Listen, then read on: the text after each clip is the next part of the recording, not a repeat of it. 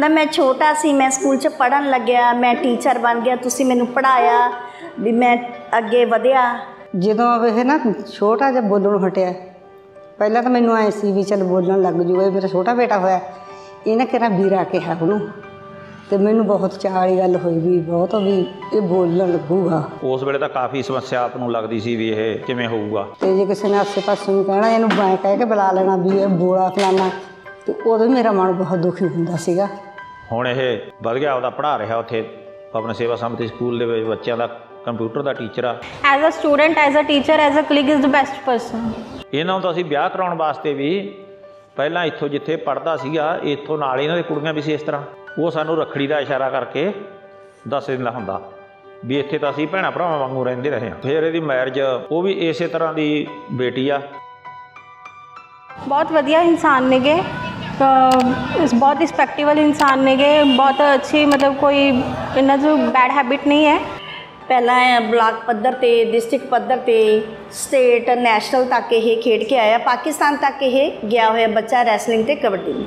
ਇਹੋ ਜਿਹੇ ਜਿਹੜੇ ਆਸੇ-ਪਾਸੇ ਦੇ ਪਿੰਡਾਂ 'ਚ ਬੱਚੇ ਸੀ, ਉਹਨਾਂ ਨੂੰ ਇਹ ਟਿਊਸ਼ਨ ਪੜ੍ਹਾਉਂਦਾ ਸੀ। ਇਹਦੀ ਲਗਨ ਹੀ ਜਾਣੀ ਕੇ ਟੀਚਰ ਬਣਨ ਦੀ ਸੀਗੀ। ਫਿਰ ਅਸੀਂ ਇਹਨੂੰ ਟੀਚਰ ਦੀ ਜੌਬ ਦਿੱਤੀ।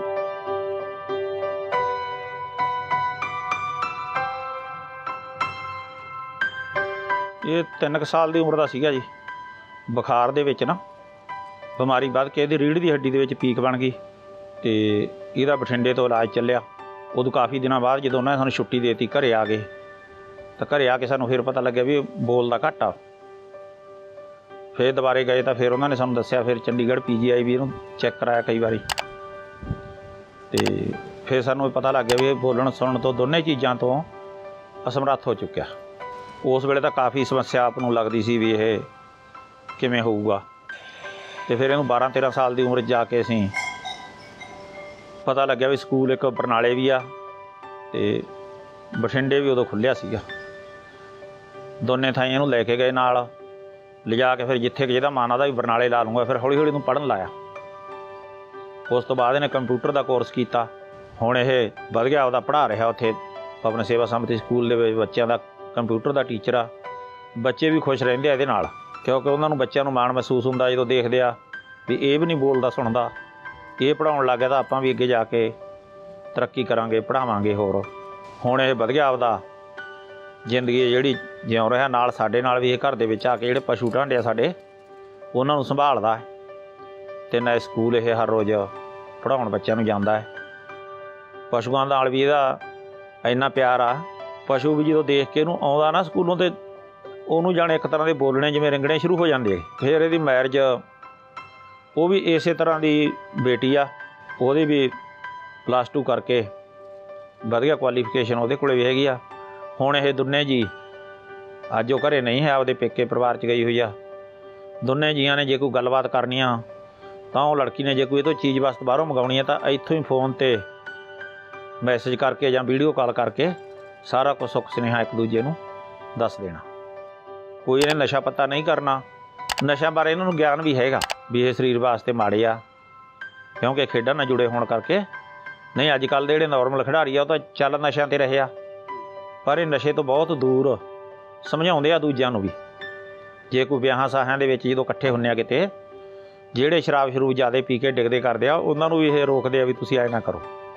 ਬਾਕੀ ਪ੍ਰਮਾਤਮਾ ਦੇ ਹੱਥ ਆ ਕੋਈ ਇਹਨਾਂ ਦੇ ਬੱਚੀ ਬੱਚੇ ਨੂੰ ਜਨਮ ਦੇਵੇ ਪ੍ਰਮਾਤਮਾ, ਤੇ ਅੱਗੇ ਫਿਰ ਉਹ ਇਹਨਾਂ ਦਾ ਜਿਹੜਾ ਹੈ ਸੇਵਾ ਸੰਭਾਲ ਦਾ ਸਾਨੂੰ ਵੀ ਕੋਈ ਬਹੁਤਾ ਫਿਕਰ ਨਾ ਰਹੇ। ਡਿਸਪਲਿਨ ਦੇ ਵਿੱਚ ਤਾਂ ਇਹਨਾਂ ਨੇ ਹਰੇਕ ਕੰਮ ਨਾ ਬਈ ਜਾਣੇ ਆਪਦਾ ਤੁਰਨਾ ਫਿਰਨਾ, ਕਿਧਰੇ ਨੂੰ ਵੀ ਜਾਣਾ, ਆਉਣਾ, ਸਾਰਾ ਪੂਰਾ ਧਿਆਨ ਨਾਲ ਦੇਖ ਕੇ ਖਾਣਾ ਪੀਣਾ ਜਿਹੜਾ, ਖਾਣ ਪੀਣ ਵਾਸਤੇ ਜਿਹੜੀ ਚੀਜ਼ ਵੀ ਖਰੀਦਣੀ ਹੈ ਇਹਨਾਂ ਨੇ, ਉਹ ਦੇਖ ਕੇ ਵੀ ਕੋਈ ਡੇਟ ਐਕਸਪਾਇਰ ਨਾ ਹੋਵੇ, ਕੋਈ ਚੀਜ਼ ਮਾੜੀ ਨਾ ਹੋਵੇ, ਮਹਿੰਗੀ ਸਸਤੀ ਦਾ ਨਹੀਂ ਦੇਖਣਾ। ਵੀ ਬੇਸ਼ੱਕ ਮਹਿੰਗੀ ਹੈ, ਚਾਹੇ ਸਸਤੀ ਹੈ, ਜਿਹੜੀ ਚੀਜ਼ ਪੂਰੀ ਚੰਗੀ ਲੱਗੂਗੀ, ਉਹ ਖਾਣ ਵਾਸਤੇ ਲੈਣੀ ਆ। ਜੇ ਕੋਈ ਮਾੜੀ ਚੀਜ਼ ਆ, ਤਾਂ ਉਹ ਇਹਨਾਂ ਨੇ ਨਹੀਂ ਖਰੀਦਣੀ। ਤੇ ਬੱਸ ਵਗੈਰਾ 'ਚ ਹੋਰ ਵੀ ਕਿਤੇ ਵੀ ਜਾਣਾ, ਤਾਂ ਕਿਸੇ ਨੂੰ ਡਿਸਟਰਬ ਨਹੀਂ ਕਰਨਾ। ਇਹ ਨਹੀਂ ਵੀ ਕਿਤੇ ਜਾ ਕੇ ਪਤਾ ਧੱਕਾ ਕਰੋ, ਜੇ ਕਿਤੇ ਬਾਰੀ ਸਿਰ ਵਾਲਾ ਕੰਮ ਆ, ਤਾਂ ਲੈਣ 'ਚ ਖੜ ਕੇ ਇਹਨਾਂ ਨੇ ਉਹ ਕਰਨਾ। ਇਹਨਾਂ ਨੂੰ ਤਾਂ ਅਸੀਂ ਵਿਆਹ ਕਰਾਉਣ ਵਾਸਤੇ ਵੀ ਪਹਿਲਾਂ ਇੱਥੋਂ ਜਿੱਥੇ ਪੜਦਾ ਸੀਗਾ, ਇੱਥੋਂ ਨਾਲ ਇਹਨਾਂ ਦੇ ਕੁੜੀਆਂ ਵੀ ਸੀ ਇਸ ਤਰ੍ਹਾਂ। ਉਹਨਾਂ ਦੇ ਨਾਲ ਵੀ ਅਸੀਂ ਕੁਛ ਦੇ ਆਦਾ ਇੱਥੇ ਨੇੜੇ ਵਿਆਹ ਨਹੀਂ ਕਰਾਉਣਾ ਸੀ। ਉਹ ਸਾਨੂੰ ਰੱਖੜੀ ਦਾ ਇਸ਼ਾਰਾ ਕਰਕੇ ਦੱਸ ਦਿੰਦਾ ਹੁੰਦਾ ਵੀ ਇੱਥੇ ਤਾਂ ਅਸੀਂ ਭੈਣਾ ਭਰਾਵਾਂ ਵਾਂਗੂ ਰਹਿੰਦੇ ਰਹੇ ਹਾਂ। ਇਹਦੇ ਬਾਰੇ ਵੀਰ ਬਹੁਤ ਸੋਚੀਆਂ ਆ ਤਾਂ ਮਨ ਵੀ ਬਹੁਤ ਹੁੰਦਾ ਰਿਹਾ ਵੀ ਐਂ ਵੀ ਔਖਾ। ਤੇ ਜਦੋਂ ਇਹ ਨਾ ਛੋਟਾ ਜਿਹਾ ਬੋਲਣ ਹਟਿਆ, ਪਹਿਲਾਂ ਤਾਂ ਮੈਨੂੰ ਐ ਸੀ ਵੀ ਚਲ ਬੋਲਣ ਲੱਗ ਜੂਗਾ ਮੇਰਾ ਛੋਟਾ ਬੇਟਾ ਹੋਇਆ, ਇਹਨੇ ਕਿਹਾ ਵੀਰਾ ਕਿਹਾ ਉਹਨੂੰ? ਤੇ ਮੈਨੂੰ ਬਹੁਤ ਚਾਹ ਵਾਲੀ ਗੱਲ ਹੋਈ ਵੀ ਬਹੁਤ ਵੀ ਇਹ ਬੋਲਣ ਲੱਗੂਗਾ। ਜਦ ਹੌਲੀ ਹੌਲੀ ਫਿਰ ਇਹਨੂੰ ਸੁਣਨ ਨੂੰ ਵੀ ਹਟ ਗਿਆ। ਕੋਈ ਖੜਕਾ ਦੜਕਣਾ ਫਿਰ ਬਹੁਤ ਮਨ ਦੁਖੀ ਹੋਇਆ ਕਰੇ। ਫਿਰ ਜੇ ਇਹਨੂੰ ਕੋਈ ਬੱਚਾ ਘੂਰਦਾ ਵੀ ਸੀ, ਫਿਰ ਵੀ ਮੈਨੂੰ ਬਹੁਤ ਦੁੱਖ ਮਿਲਦਾ ਸੀ। ਮੈਂ ਵੀ ਮੈਨੂੰ ਕੁਛ ਕਹੀ ਜਾਂਦੀ ਸੀ। ਮੈਨੂੰ ਨਹੀਂ ਸੀ ਆਪ ਨੂੰ ਹੁੰਦਾ ਵੀ ਮੈਂ ਕਿਉਂ ਘੂਰਦੀ ਹਾਂ ਤੇ ਜੇ ਕਿਸੇ ਨੇ ਆਸੇ ਪਾਸੇ ਵੀ ਕਹਿਣਾ, ਇਹਨੂੰ ਮੈਂ ਕਹਿ ਕੇ ਬੁਲਾ ਲੈਣਾ ਵੀ ਇਹ ਬੋਲਾ ਫਲਾਨਾ ਤੇ ਉਦੋਂ ਮੇਰਾ ਮਨ ਬਹੁਤ ਦੁਖੀ ਹੁੰਦਾ ਸੀਗਾ। ਵੀ ਚੰਗਾ ਭਲਾ ਬੱਚਾ ਜਦੋਂ ਐ ਹੋ ਜੇ ਤਿੰਨ ਸਾਲ ਦਾ ਨਾ, ਵੀ ਮਾਂ ਨੂੰ ਬਹੁਤ ਔਖਾ ਹੈ ਚੱਲਣਾ ਤੇ ਵਧੀਆ ਫਿਰ ਆਉਂਦਾ ਜਾਂਦਾ ਰਿਹਾ। ਚੱਲ ਫਿਰ ਮਨ ਨੂੰ ਬਹੁਤ ਖੁਸ਼ੀ ਜਿਹੀ ਹੁੰਦੀ ਰਹੀ। ਵਧੀਆ ਆ। ਖੇਡਾਂ ਖੁੱਡਾਂ 'ਚ ਜਾ ਕਰੇ ਮੈਡਲ ਮੂਡਲ ਲੈ ਕੇ ਆਇਆ ਕਰੇ। ਉਹਦੇ ਵਿੱਚ ਆ ਜਾ ਹੋਇਆ ਕਰ ਵੀ ਚੱਲ ਰੱਬ ਨੂੰ ਤਾਂ ਪਾਇਆ ਐਡਾ ਵੱਜ। ਵੀ ਚੱਲ ਵਧੀਆ ਤਰੱਕੀ 'ਚ ਹੈ ਵਧੀਆ ਆਪਦੀ ਬਣਿਆ ਤਾਂ ਵਧੀਆ ਰਹਿੰਦਾ ਟੌਰ 'ਚ। ਕੋਈ ਲੀੜੇ ਲੱਤੇ ਦਾ ਪੂਰਾ ਸ਼ੌਂਕ ਹੈ ਵੀਰ ਜੀ ਪਹਿਲਾਂ ਤੋਂ ਇਹਨੂੰ। ਵਧੀਆ ਆਪਦਾ ਕੱਪੜਾ ਲੀੜਾ ਲੈ ਕੇ ਆਪੇ ਖਰੀਦ ਕੇ ਪਾਉਂਦਾ। ਕੋਈ ਸਾਨੂੰ ਨਹੀਂ ਹੈ ਕਹਿੰਦਾ ਵੀ ਤੁਸੀਂ ਮਾੜਾ ਕਰੋ ਆਹ। ਵੀ ਪੂਰਾ ਵਧੀਆ ਰੱਖਦਾ ਸਾਡਾ ਵੀ ਧਿਆਨ।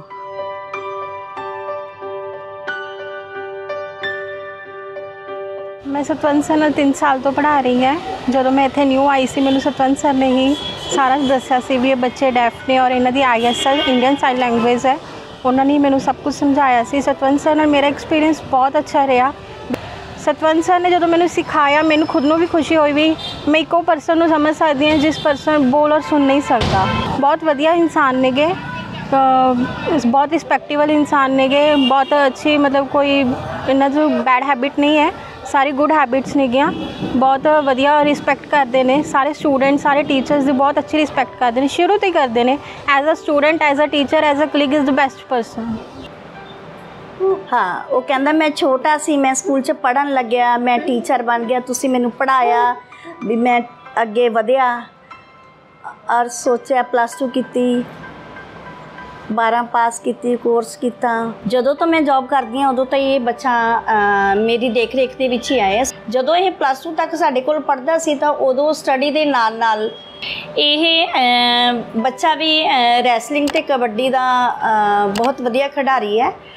ਪਹਿਲਾਂ ਬਲਾਕ ਪੱਧਰ ਤੇ ਡਿਸਟ੍ਰਿਕਟ ਪੱਧਰ ਤੇ ਸਟੇਟ ਨੈਸ਼ਨਲ ਤੱਕ ਇਹ ਖੇਡ ਕੇ ਆਇਆ, ਪਾਕਿਸਤਾਨ ਤੱਕ ਇਹ ਗਿਆ ਹੋਇਆ ਬੱਚਾ ਰੈਸਲਿੰਗ ਤੇ ਕਬੱਡੀ। ਤਾਂ ਫਿਰ ਅਸੀਂ ਨਾਲ ਨਾਲ ਇਹਨੂੰ ਕੰਪਿਊਟਰ ਦੇ ਕੋਰਸਿਸ ਕਰਵਾਈ ਜਿਨ ਕਿ BCA ਕੀਤੀ ਇਸ ਲੜਕੇ ਨੇ। BCA ਨਾਲ ਨਾਲ ਕਰਦਾ ਰਿਹਾ ਪਲੱਸ 2 ਤੋਂ ਬਾਅਦ ਇਹ ਇਹ ਘਰ ਦੇ ਵਿੱਚ ਵੀ ਇਹੋ ਜਿਹੇ ਜਿਹੜੇ ਆਸੇ-ਪਾਸੇ ਦੇ ਪਿੰਡਾਂ 'ਚ ਬੱਚੇ ਸੀ, ਉਹਨਾਂ ਨੂੰ ਇਹ ਟਿਊਸ਼ਨ ਪੜ੍ਹਾਉਂਦਾ ਸੀ। ਇਹਦੀ ਲਗਨ ਹੀ ਜਨ ਕਿ ਟੀਚਰ ਬਣਨ ਦੀ ਸੀਗੀ, ਫਿਰ ਅਸੀਂ ਇਹਨੂੰ ਟੀਚਰ ਦੀ ਜੌਬ ਦਿੱਤੀ। ਤੇ ਮੈਰਿਜ ਤੋਂ ਬਾਅਦ ਵੀ ਇਹਨੇ ਕੰਮ ਕਰਨਾ ਨਹੀਂ ਛੱਡਿਆ, ਚਾਹੇ ਕੋਈ ਤਨਖਾਹ ਸਾਡੇ ਤੁਹਾਨੂੰ ਪਤਾ ਹੀ ਹੈ ਪ੍ਰਾਈਵੇਟ ਸਕੂਲਾਂ 'ਚ ਤਨਖਾਹ ਘੱਟ ਹੀ ਹੁੰਦੀ ਹੈ, ਪਰ ਫਿਰ ਵੀ ਇਹਨਾਂ ਬੱਚਿਆਂ ਦੀ ਸੇਵਾ 'ਚ ਲੱਗਿਆ ਹੈ। ਇਹਦਾ ਇੱਕ, ਇਹਦੇ ਪਾਪਾ ਵੀ ਦੀ ਸੋਚ, ਇਹਦੇ ਮੰਮੀ ਪਾਪਾ ਦੋਨਾਂ ਦੀ ਸੋਚ ਤੇ ਇਹਦੀ ਸੋਚ ਇਹ ਹੈ ਵੀ ਪੈਸਾ ਮੈਂ ਇਹਨੇ ਨਹੀਂ ਰੱਖਦਾ ਹੈਗਾਗਾ, ਵੀ ਜੇ ਪਰਮਾਤਮਾ ਨੇ ਮੈਨੂੰ ਇਹੋ ਜੀ ਡਿਸੇਬਿਲਿਟੀ ਦੇ ਵਿੱਚ ਪਾਇਆ ਵੀ ਕਿਉਂ ਨਾ ਮੈਂ ਇਹੋ ਜਿਹੇ ਬੱਚਿਆਂ ਨੂੰ ਪੜ੍ਹਾ ਕੇ, ਤਾਂ ਕਿ ਆਉਣ ਵਾਲੇ ਸਮੇਂ ਦੇ ਵਿੱਚ ਵੀ ਇਹ ਮੇਰੇ ਬੱਚੇ ਅੱਗੇ ਵੱਧ ਸਕਣ ਮੇਰੀ ਪੜ੍ਹਾਈ ਹੋਈ ਬੱਚੇ 'ਚ।